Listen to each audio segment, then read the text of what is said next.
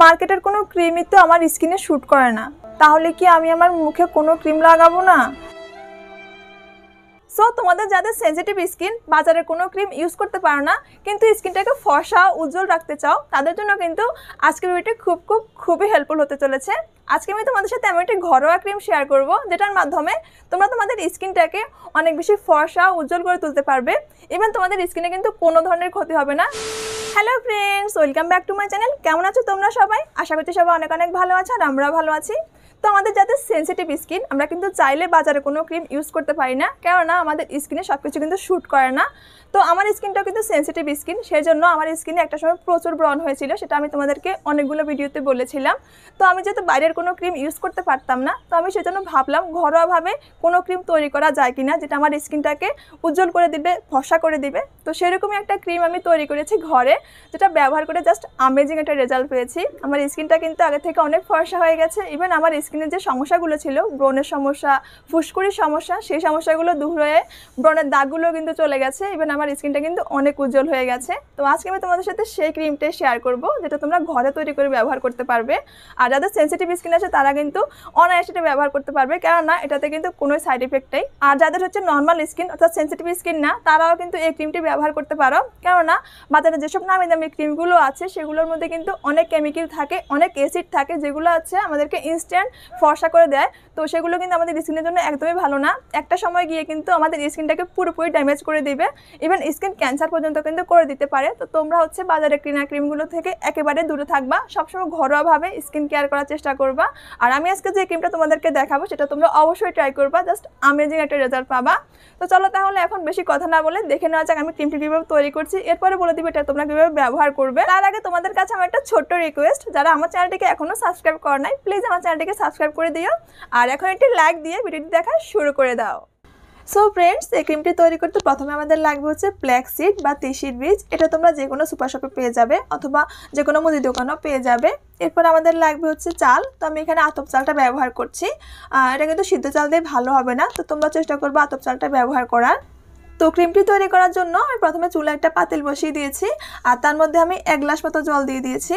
এরপরে আমি এখান থেকে দুই চামচ ফ্ল্যাক্সিড দিয়ে দিব। তো তোমরা চাইলে কিন্তু এই ক্রিমটা আরও বেশি করেও তৈরি করতে পারো, সেক্ষেত্রে সব কিছুর পরিমাণটা বাড়িয়ে দিলেই হবে। এরপরে আমি দুই চামচ চাল দিয়ে দিচ্ছি। তো এখন আমি এই চাল আর তিসিটাকে খুব ভালো মতো ফুটিয়ে নিব। প্রায় আট থেকে দশ মিনিটের মতো ফুটিয়ে নিব। এতে করে কিন্তু একটা জেলটা বের হয়ে যাবে। তো আমি এখানে যে প্ল্যাক্সিড ব্যবহার করেছি, এই প্ল্যাক্সিডে আছে অনেকগুলো পুষ্টি উপাদান যেটা আমাদের ত্বকের জন্য অনেক উপকারী। যেমন ফ্যাটি অ্যাসিড অ্যান্টিঅক্সিডেন্ট যা আমাদের ত্বককে প্রচুর পরিমাণে ময়শ্চারাইজ করে এবং বাইরে থেকে পুষ্টি দেয়। এছাড়া এই প্ল্যাক্সিড হচ্ছে মাইক্রোনিউট্রিয়লের একটি উৎস, যা কিনা আমাদের ত্বককে অনেক বেশি সুস্থ রাখে, আমাদের ত্বকের কোলাজেন বাড়তে সাহায্য করে। তো তাহলে বুঝতেই পারছ এই প্ল্যাক্সিড আমাদের ত্বকের জন্য কতটা উপকারী। এরপরে আমি এখানে ব্যবহার করেছি চাল। তো এই চাল থেকে যে ভাত হবে, সেই ভাত যুগ যুগ ধরে স্কিন চর্চা সবাই ব্যবহার করে আসছে। কেননা এই চাল থেকে যখন ভাত হয়, তখন সেটাতে এক ধরনের এনজাইম থাকে। এর দ্বারা আমাদের ত্বকের কঠিন দাগগুলো হালকা করতে কিন্তু অনেক সাহায্য করে। এছাড়াও এই ভাত ব্যবহারের ফলে আমাদের স্কিন সূর্যের অতিবেগুনি রশ্মির হাত থেকে রক্ষা পায়। তোমরা দেখবে অনেকের বয়স বাড়ার সাথে সাথে ত্বকে একটা কুচকানো ভাব চলে আসে। দেখে মনে হয় যে অনেক বয়স হয়ে গেছে। তো তারা যদি এই চাল এবার ব্যবহার করতে পারেন, তাহলে কিন্তু বয়সের ছাপটাও অনেক কমে যায়। তো আমার এখানে আট থেকে দশ মিনিটের মতো চাল আর তিসির বীজটা সিদ্ধ হয়ে গেছে। তো সিদ্ধ হওয়ার পর এটার জলটা যখন এরকম গায়ে গায়ে চলে আসবে, তখন আমি এটাকে চুলা থেকে নামিয়ে নেব। এরপর আমি এটা থেকে যে জেলটা আছে সেটাকে আলাদা করে নিব। আর তার জন্য এখানে একটা কাপের মধ্যে একটা সুতির কাপড় বিছিয়ে নিয়েছি। এরপর এটার মধ্যে ঢেলে আমি এটা জেলটাকে আলাদা করে নিব। তো এটা যেহেতু অনেকটাই গরম অবস্থায় আছে, তো এটাকে এখন হাত দিয়ে ধরা যাবে না। যেহেতু আমাদের হাতের সাহায্য লাগবে এটা জেলটা বের করতে, তো আমি এটাকে দুই মিনিটের মতো এভাবে রেখে দিব। দুই মিনিট, যখন মোটামুটি ঠান্ডা হয়ে যাবে, তখন আমি এটা জেলটা আলাদা করে নিব।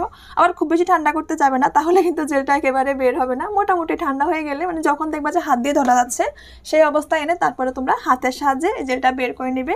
তো তোমরা দেখতেই পাচ্ছ আমি কীভাবে এখানে চিপে চিপে জেলটা বের করে নিচ্ছি। তোমরা কিন্তু এখানে ছাকনি ব্যবহার করার চেষ্টা করবে না কেন ছাকনিতে করে কিন্তু এটা স্মুথ যে জেলটা আছে সেটা কিন্তু বের হবে না। তো অবশ্যই এখানে এরকম একটা সুতি কাপড়ের সাহায্যে এইভাবে করে জেলটা বের করে নিবে। এই তো আমার এখানে স্মুথ জেলটা বের করে নেওয়া হয়ে গেছে। এরপর আমি চলে যাচ্ছি নেক্সট স্টেপে তো এখানে আমার লাগবে হচ্ছে অ্যালোভেরা জেল কারণ আমরা এখানে একটা ক্রিম তৈরি করতে যাচ্ছি, তো সেই জন্য অবশ্যই অ্যালোভেরা জেলটা লাগবে।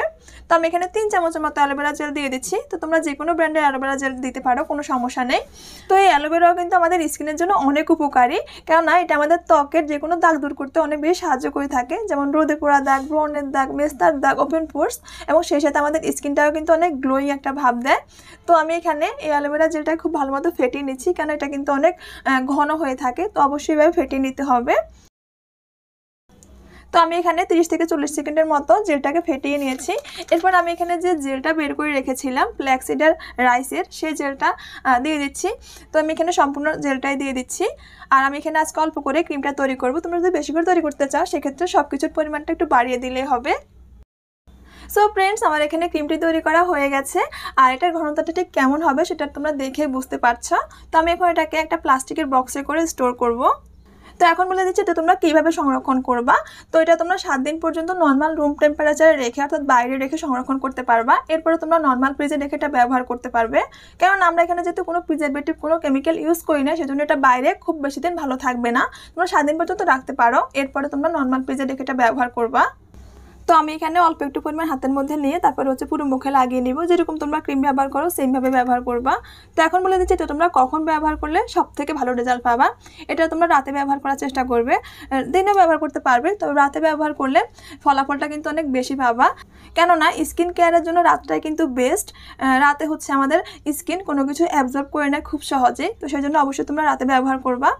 তোমরা রাতে এটাকে এভাবে করে লাগিয়ে রেখে দিবা। তো সারা রাত মুখের মধ্যে থেকে এটা পুষ্টি দিবে। এরপরে সকালে তোমরা নর্মাল জল দিয়ে অথবা ফেস ওয়াশ দিয়ে মুখটাকে ধুয়ে নিবা। সো ফ্রেন্ডস দেখেই তো নিলে এই ক্রিমটি তৈরি করা কতটা সহজ? তো আজকের পর থেকে কিন্তু আর কোনো বাজারের ক্রিম ব্যবহার করবে না আর কোনো টাকা খরচ করবে না। এভাবে করে ক্রিমটি তৈরি করে তোমরা অনায়াসে ব্যবহার করতে পারবা আর জাস্ট আমেজিং রেজাল্ট পাবা যেটা আমি পেয়েছি। তো আশা করছি ভিডিওটি তোমার থেকে অনেক অনেক অনেক ভালো লেগেছে। যদি ভালো লেগে থাকে প্লিজ একটি লাইক দেওয়া যেতে পারে। আর আমার চ্যানেলটিকে যখন সাবস্ক্রাইব করে না থাকো প্লিজ চ্যানেলটিকে সাবস্ক্রাইব করে রাখো। তো আজকে পর্যন্ত সবাই খুব বেশি ভালো থাকবা, সুস্থ থাকবা। Tata bye bye